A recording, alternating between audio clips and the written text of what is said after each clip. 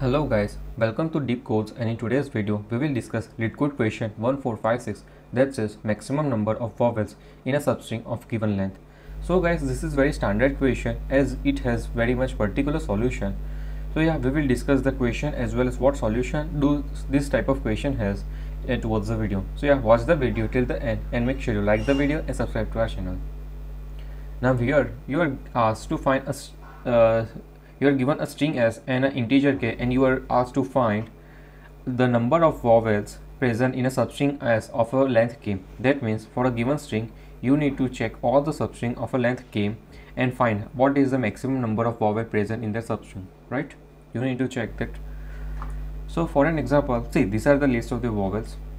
And for a string like this what can be different possible substring? So one substring is abc another is bci then C I I then I I I then I I G then I D E D E F. So these are the uh, list of possible substrings right? These are the different possible substrings. And here as you can see the maximum uh, number of vowels is present in this substring right? In this substring because there are three guys three guys. So yeah this is our answer and this is what we written in the output so clear now what is substring. Substring is nothing but uh, uh, it is a part of a string. It is a continuous part of a string. See it is a continuous part of a string. We, we cannot break uh, it right? We cannot delete any characters here in a substring. It is a continuous part. Now taking this example a e i o u. So this uh, string can be split into substring like this. A e e i i o o u and you can see that each substring has uh, two vowels in them right? Each has two vowels because this complete string is also is containing of vowels. So yeah we written 2 as our answer that is the length of a substring.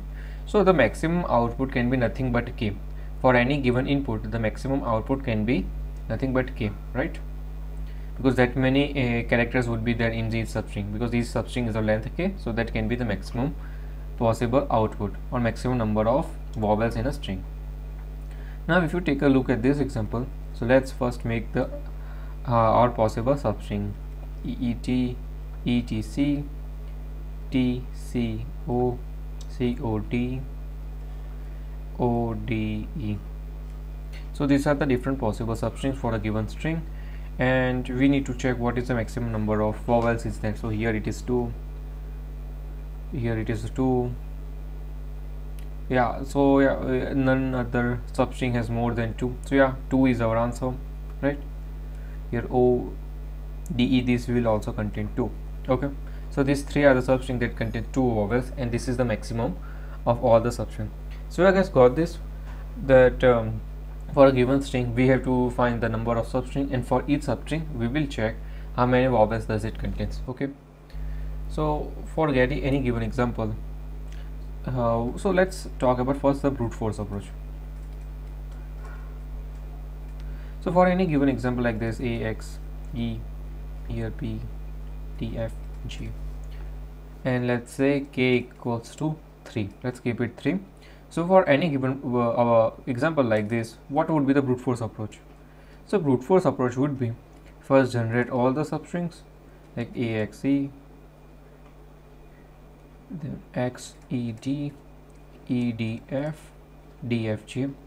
Then for each substring check the count of vowels right? So here the count of vowels is 1 here the count of vowels is 2 A and E here it is 1 here it is 1 and here also uh, A E I O U none. So here it is 0 so this is the brute force approach. So first generate all the substrings and then for each substring check the count of vowels right? So yeah. So guys now the time complexity for this approach would be nothing but big O of n plus n into k. So first big O of n because we have to generate all the substring. This is because in the worst case maximum number of substrings can be big O of n maximum number of substring and in that case you have to check for k characters of each substring so that's why this would be the time complexity.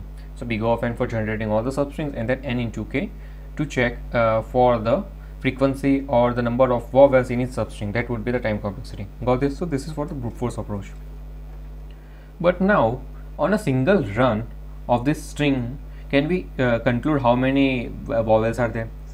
See this is the given string.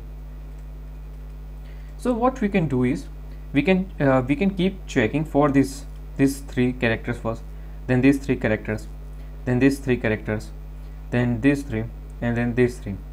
Up till the end so we will check three characters at a time and then we will skip one of the character check, check next three.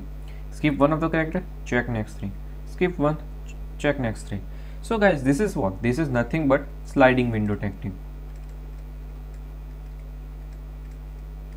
So this is nothing but sliding window. So in a sliding window what we do is we check k characters at a time right? Then skip first character and then check next character next k character. So what we can do here is we can keep a count. This count is nothing but the frequency of vowels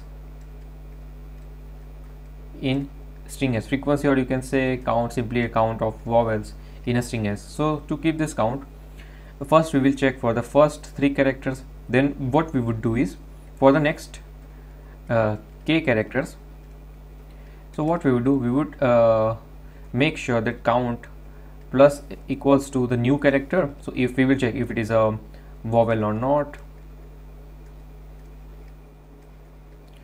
And also we would check whether the character that we have discarded that is i minus k is vowel or not.